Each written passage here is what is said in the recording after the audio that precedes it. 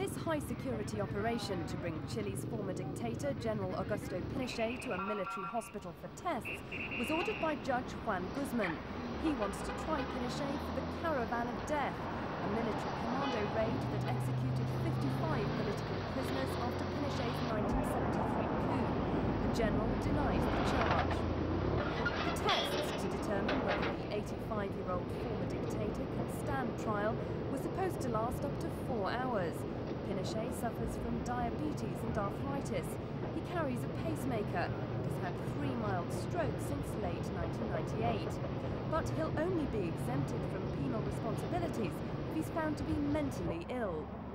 The completion of the tests may open the door for the judge to renew Pinochet's indictment on homicide and kidnapping charges.